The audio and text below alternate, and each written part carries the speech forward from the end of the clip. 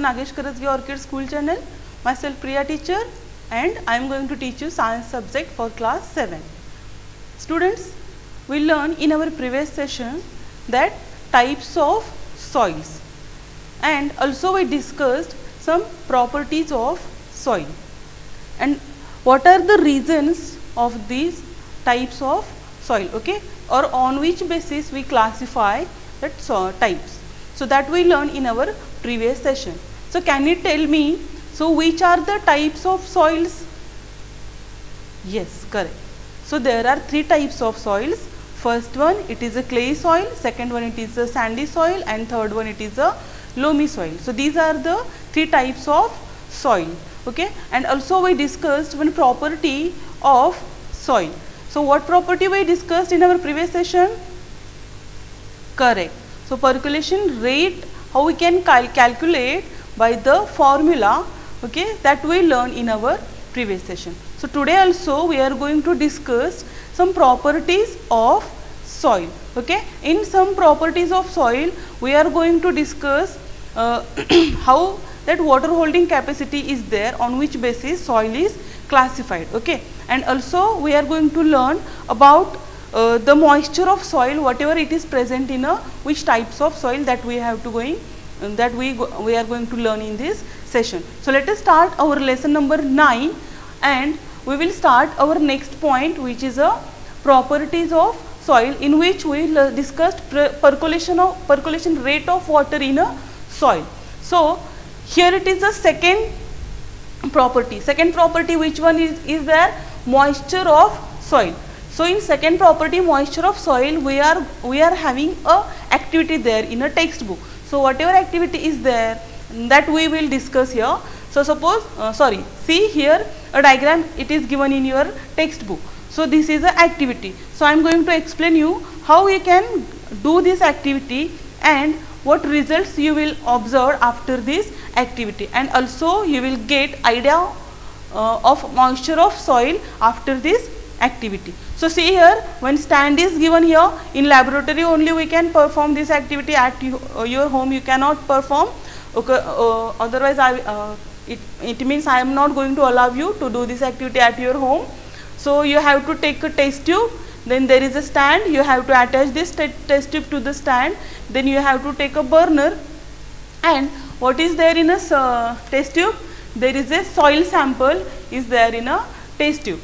So what this burner is also on you can see here so what you have to do you have to uh, take a soil sample in a test tube then you have to heat that soil with burner and then you have to observe what happens there so if suppose you will uh, you taken that soil and then you are going to you you are heating this soil and then you will you have to observe. So what you will observe there? So you will observe after heating after some time of heating this soil you will see some water droplets are there.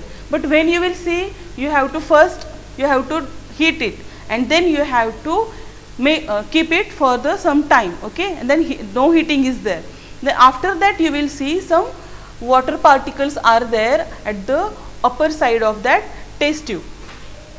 So here it is nothing but the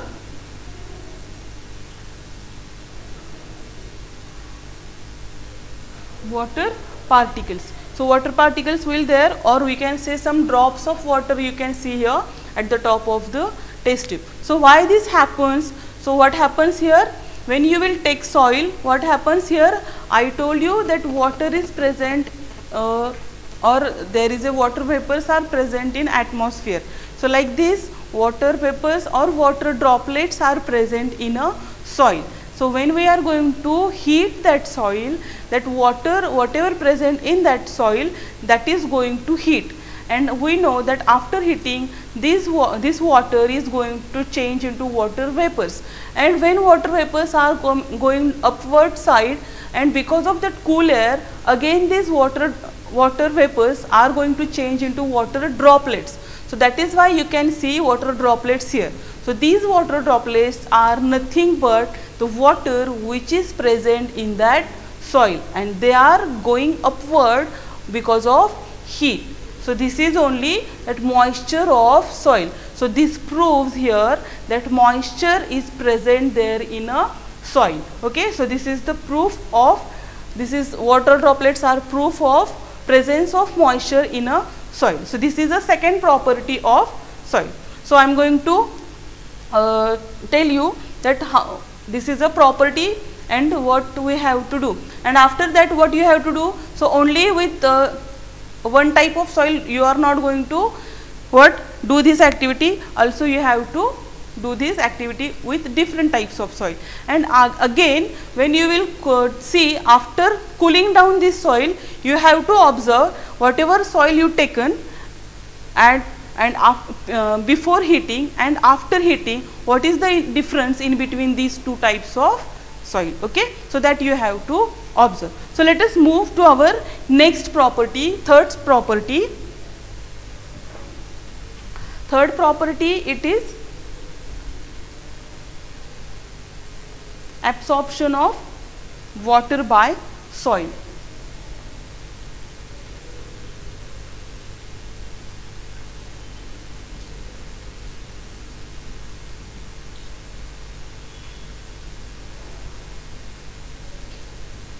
So, this is a third property of soil. So, absorption of soil that is also we are going to learn by the activity. So, what activity we are going to do here?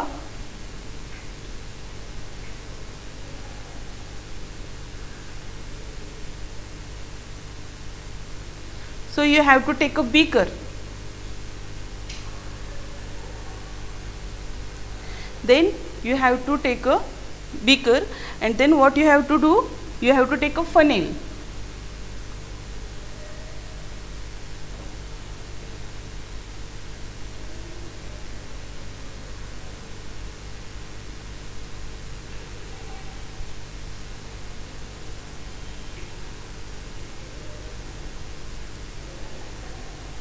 So, this is the funnel and inside this funnel whatever is there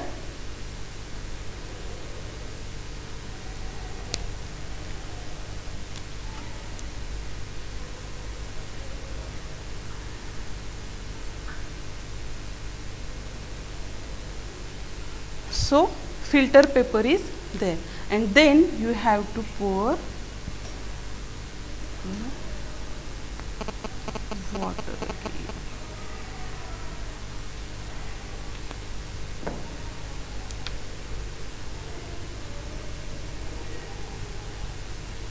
So, like this uh, with this activity we can uh, study or discuss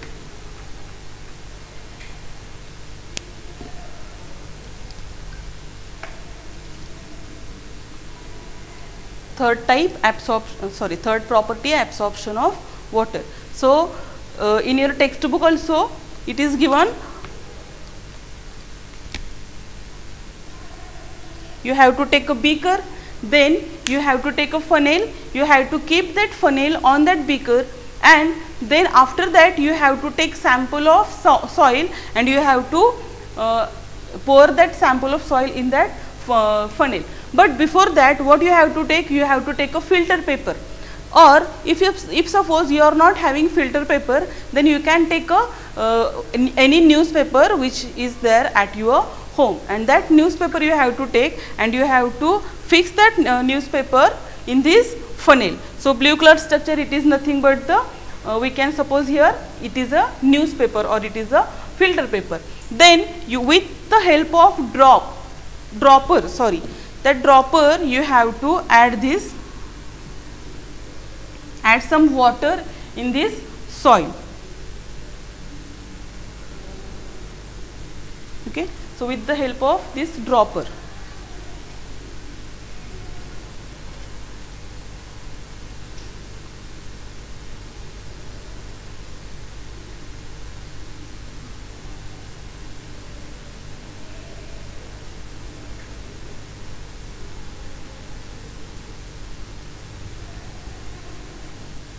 So, I drawn here structure of dropper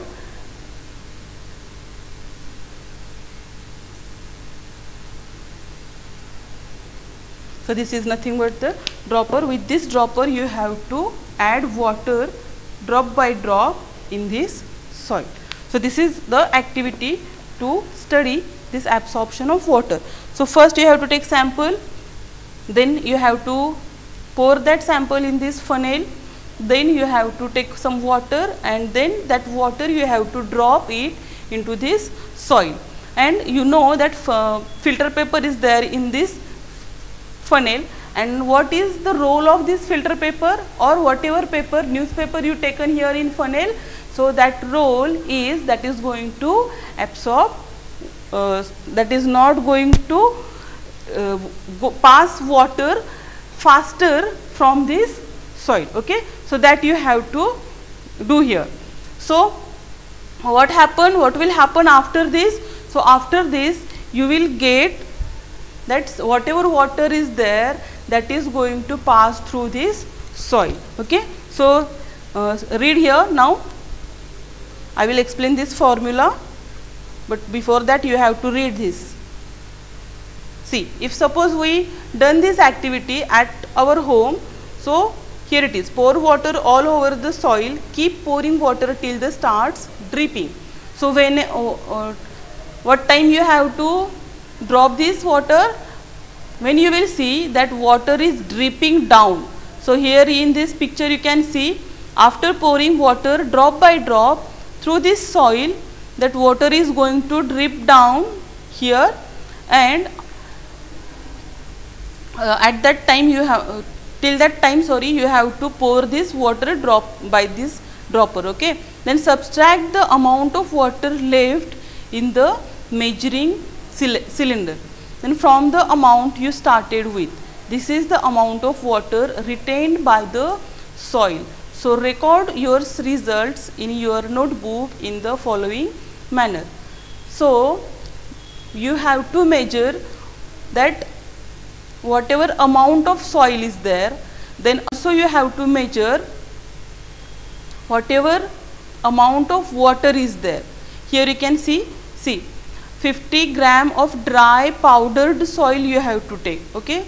That soil should be dry, then it is powdered and uh, after that measure a certain amount of water in a measuring cylinder. Then you have to measure that 50 milliliter, 100 milliliter, whatever it is that you have to measure and then that 50 milliliter or 100 milliliter you have to drop it into the funnel. So, do not let all the water fall at one spot. So, uh, all water you have you do not have to pour immediately uh, drop by drop you have to pour it. Then now this is the formula. So what you have to observe? So this is the formula of absorption of water by which we can uh, see or we can study that whatever amount is absorbed, whatever amount of water is absorbed by the soil. So uh, here you can see weight of soil is given, it is a 50 gram the initial volume of water in the measuring cylinder. So, it means before pouring that water in that soil, whatever amount you taken, suppose you taken 50 ml of water, then u will be the 50 ml. Then final volume of water in the measuring cylinder. So, that is called as a VML. Okay. So, initial volume it is known as U indicated as a U and then final it is by V. Then volume of water absorbed by the soil, it will be studied by this formula U minus V.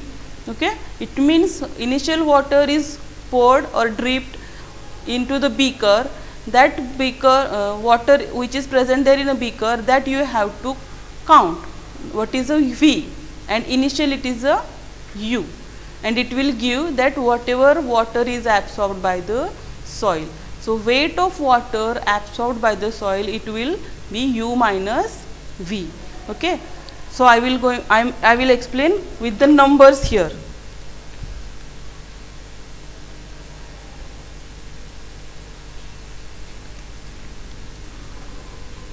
So, you know that weight of soil you have to taken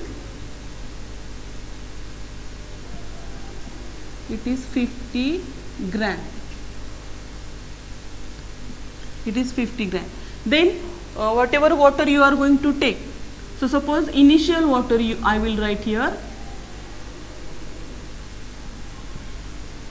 Initial amount of water. It will be suppose 100 ml then final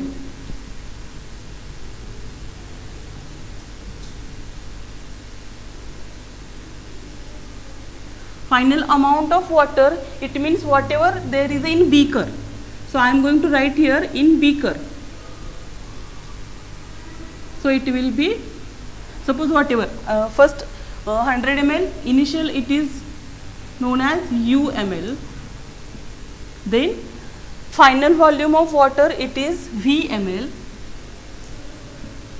and then we have to find out which one? Volume of absorb. So amount of water I am going to write here.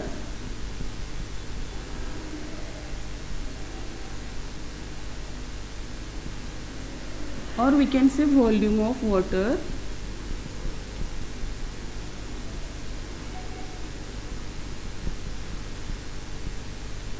Absorbed by soil. So how will get this volume of water absorbed by soil? We know soil is there and after pouring this some water droplets are there in the beaker. This is nothing but a beaker and this is the dropper okay this is funnel and whatever water we get that is a final one and whatever water is there absorbed by the soil that we have to find out by this formula. How we can find out it? U minus v into then weight of water absorbed by the soil. So if suppose it is a milliliter or it it will be in a gram.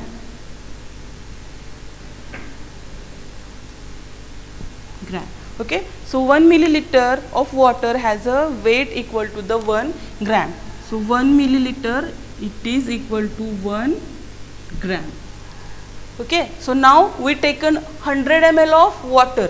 So we will add these numbers here in this formula. So before pouring water into this funnel that water it it was 100 ml. Then V amount. Suppose that water which is dripped here that is only a 25 ml. Okay. So, that is only a 25 ml. So, it will minus 25 ml. So, what is the what is the answer of this 100 ml minus 25 ml? It will 75 ml. Okay.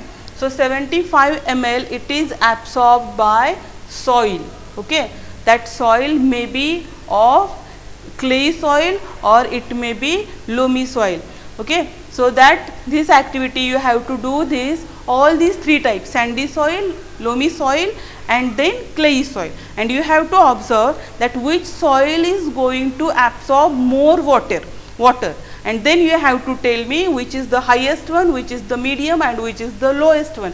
Already I we discussed that in uh, types of soil that which soil is having a more capacity of absorption of water. Then also after you are doing this activity you have to find out in these three types which soil shows more possibility of absorption of water here okay so this formula i think you understood now okay and here if suppose it is a 1 ml is equal to 1 gram then here it is 70 ml. So, if you will take all these numbers or all these uh, quantities in a gram then it will come a 75 gram. Okay. So, this is the property, this is the third property of soil.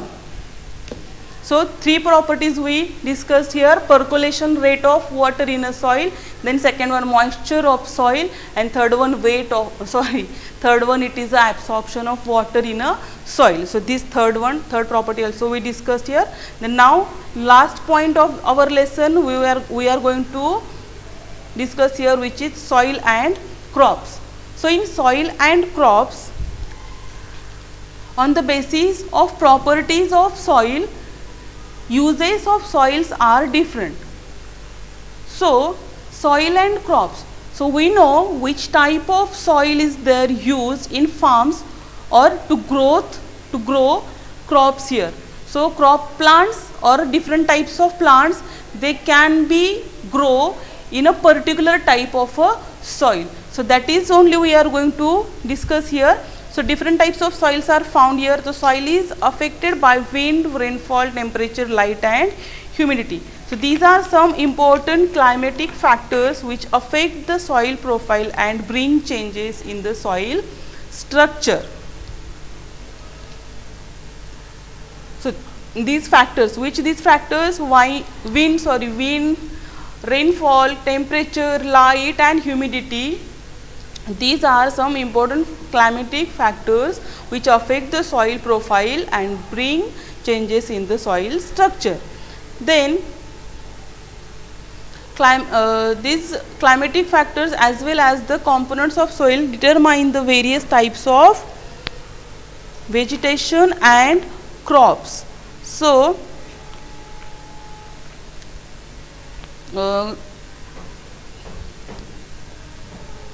that might grow in any region. So, clayey and loamy soils are both suitable for growing cereals like wheat and gram. So, clayey and loamy soils are both suitable for growing of cereals, wheat and gram. Such soils are good at the raining water. Okay, Whenever there is a rain, the, these type of soils are going to absorb water more and for the paddy, paddy what it means? That paddy it means plant of a rice okay or crops of a rice. So, that is called as a paddy. The soils rich in a clay and organic matter and having a good capacity to retain water are ideal. So, see here clay soil we say mostly it is not useful or it is not helpful to grow plants. So, when we are going to we want to grow plants or we do farming that time we have to use soil which is a loamy or which is a clay. So, that soil only we can use these types of plants.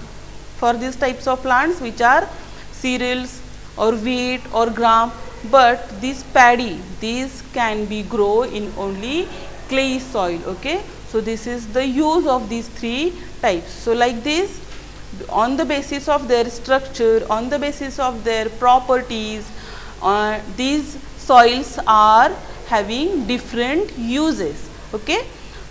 And here also one more thing is given for lentils, it means for masoor. All you know what it means masoor. Okay? And other pulses, loamy soils which drain water easily are required. So, for masoors and pulses, loamy soil is required here and for cotton sandy loam or loam only it means sandy and loam mixture of sandy and loam we need for the growth of cotton plants and also we can use only loam soil for the cotton crop. So, which drain water easily and can hold plenty of air are more suitable. So, crops such as wheat are grown in the fine clay soils because they are rich in humus and are very fertile. So, this is a chart table number 9.2 which kind of soil would be the most suitable for planting rice that you have to complete here. So, you have to read first this lesson then only you can complete this chart. So, you only you have to complete this chart. So, students we finished our last point of this lesson also, but in this picture or in this paragraph what it is given so some peoples are making some carts okay? So that matka it is made from the different types of soil also different colored but they are having a sa same type of a soil. So which type of a soil is there that you have to find out? I am not going to tell you and then third one soil erosion. So last point the removal of land surface by water that is called as a uh, or water or wind or ice is known as a erosion. It means uh, whenever there is a river uh, only river flood and because of that flood soil is moved from one place to another that is called as a erosion whenever there is a wind and forest region is there and near to forest region whenever there is a land that land soil it is going to move from one place to another because of wind and that is also called as erosion. And in ice uh, sorry in cold region because of ice also sand is going to move from one place to another. So that is also called as a erosion. Plant roots firmly bind, bind the soil in the absence of plants. So for to uh, stop this erosion we have to do plantation. Why? Because of these uh, plants what happens? So roots of these plants are going to bind soil and erosion of soil it will be decreases. So we can prevent this erosion of soil and soil uh, amount it will be more or it will be properly there on a ground so this is done here so let us take a recap whatever we learned in this lesson with the help of this video. solid material which is a mixture of rock particles of various sizes and decayed plant and animal matter called humus. Soil is essential for the existence of life on the earth. Soil is essential for agriculture. Uses of soil 1. Soil is used for growing food like grains, pulses, fruits and vegetables, etc. 2. Soil is used to grow trees for obtaining wood for building purposes, timber for burning as fuel, firewood and for making paper. 3. Soil is used to grow cotton plants which give us cotton clothes. Soil is also used to grow mulberry trees for rearing silkworms which provide us silk for making silk clothes. 4. Soil is used to make bricks and mortar for building houses. 5. Soil is used to make earthenware or pottery such as matkas, surahis, etc., crockery, cups and plates, toys and statues, etc. Before we discuss how soil is formed, we must know the meaning of the term weathering. The process by which huge rocks are broken down into small particles by the action of sun's heat, wind, rain and flowing river water, etc. is called weathering. Soil profile A vertical section or cutting through the soil showing the different layers of soil is called soil profile. Each layer of soil is called a horizon. The top layer of soil is called a horizon. The top layer of soil is also called topsoil. The topsoil contains many living things. Topsoil contains a lot of humus. This humus makes the topsoil very fertile. Topsoil is the most useful part of the soil. The layer of soil which is just below the topsoil is called B horizon. It is also known as subsoil. The subsoil contains very little living organism. The subsoil has very little humus, decayed organic matter. Due to this, subsoil is much less fertile as compared to the topsoil. The layer of the soil which is just below the subsoil is called C horizon. It is also called substratum. Substratum is made up of small lumps of broken rocks or stones formed by the partial weathering of bedrocks or parent rock. In other words, we can say that substratum consists of partially weathered rocks. In the substratum part of soil, the rock pieces are still breaking down to form smaller and smaller particles. The most important part of soil for us is the topsoil. Composition of soil. The soil is mainly made up of different sized rock particles and humus. The soil is made up of six components rock particles of different sizes, minerals, humus, air, water, and living organisms. The basis of their sizes, the rock particles present in soil can be divided mainly into four groups clay, silt, sand, and gravel. 1. The smallest rock particles present in soil form clay. 2. The rock particles in soil which are little larger than clay particles form silt. 3. The rock particles in soil which are larger than silt particles form sand. 4. The largest sized rock particles present in soil are called gravel. A good topsoil gravel is present in very small amount. This means that the main rock particles present in the topsoil are sand, clay and silt. Depending on its composition, a soil can be classified as sandy soil, clayey soil or loamy soil. The sizes of rock particles in a soil have a very important influence on the properties of that soil. Soils and crops. Some of the important crops and the type of soils which are suitable for growing crops are given below. 1. Clayey soil and loamy soil are both suitable for growing cereals like wheat and gram. Such soils are good at retaining water. The best soil for growing wheat crop is, however, loamy soil. This is because loamy soil is rich in humus and very fertile. 2. Soil rich in clay and organic matter and having very good capacity to retain water is ideal for growing paddy. 3. For growing lentil or masoor dal and other pulses, loamy soil which drains water easily is required. Soil contains air. Air is present in the spaces between the soil particles. We take some else the air present appears to be dry to us is on the cold floor flows down. It is not absorbed by the cemented floor.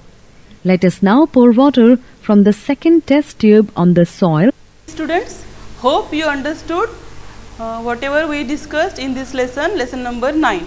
So, we finished our lesson number 9. So, in our next session, we will discuss our, our next new lesson. Okay. Thank you.